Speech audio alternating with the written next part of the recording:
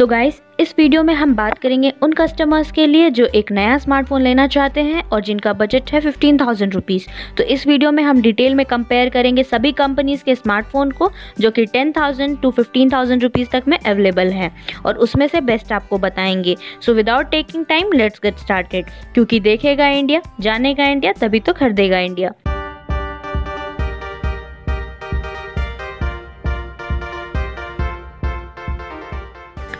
तो सबसे पहले बात करेंगे सैमसंग के स्मार्टफ़ोन की। तो यहाँ पे आपको सैमसंग के तरफ़ से तीन स्मार्टफ़ोन देखने को मिल जाएँगे।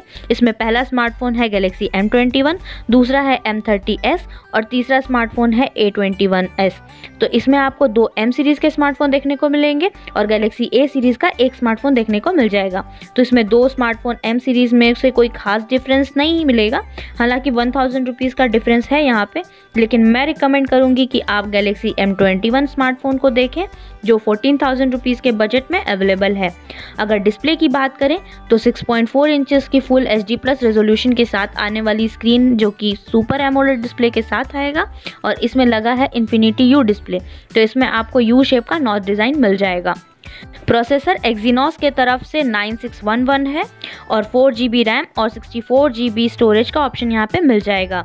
नेक्स्ट यहाँ पे 48 मेगापिक्सल का ट्रिपल रेयर कैमरा सेटअप देखने को मिलेगा, जिसमें फोर्टी एट मेगा पिक्सल का मेन कैमरा है eight megapixel ultra wide angle और five mega pixel depth sensor देखने को मिल जाएगा।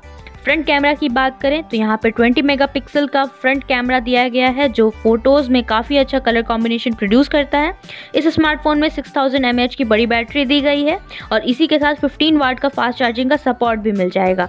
तो ये स्मार्टफ़ोन अच्छा ऑप्शन है अगर आपको फोर्टीन के बजट में एक अच्छा डिस्प्ले बड़ी बैटरी और ठीक ठाक परफॉर्मेंस वाला स्मार्टफ़ोन चाहिए तो। हालाँकि आप एम थर्टी की तरह भी जा सकते हैं, जो इस स्मार्टफ़ोन से वन थाउज़ेंड महँगा है, लेकिन मैक्सिमम स्पेक्स सेम देखने को मिलेंगे।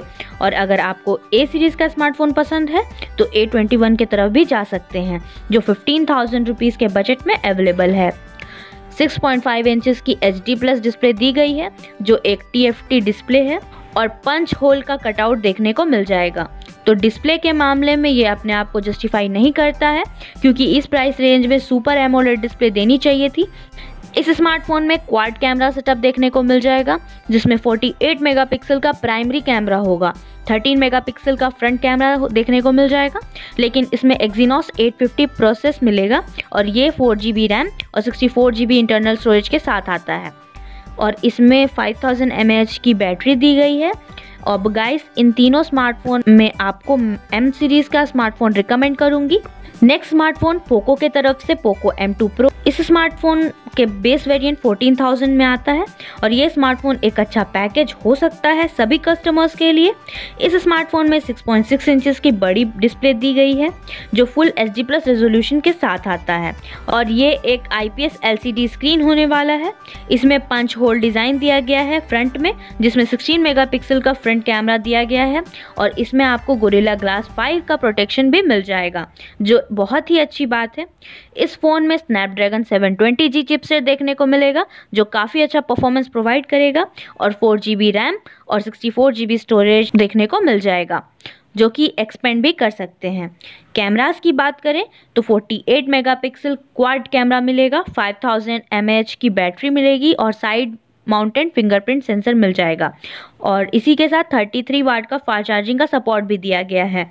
तो ये काफ़ी अच्छा ऑप्शन है फोर्टीन थाउज़ेंड रुपीज़ में, जो एक फुल पैकेज के साथ आता है।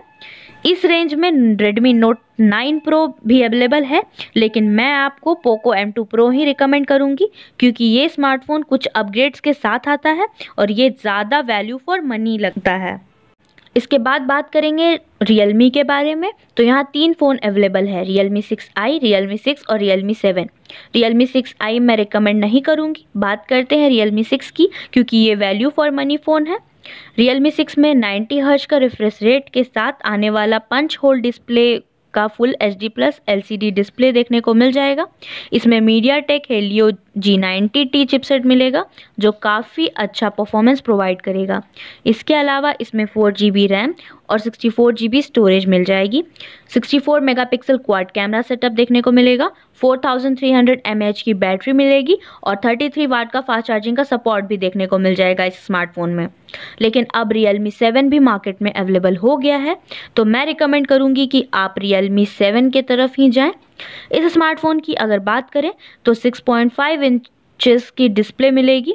90 हर्ट्ज का रिफ्रेश रेट के साथ एलसीडी डिस्प्ले मिलेगा, जो सेम रियल मी सिक्स की तरह full H D plus resolution और पंच होल डिज़ाइन के साथ आता है।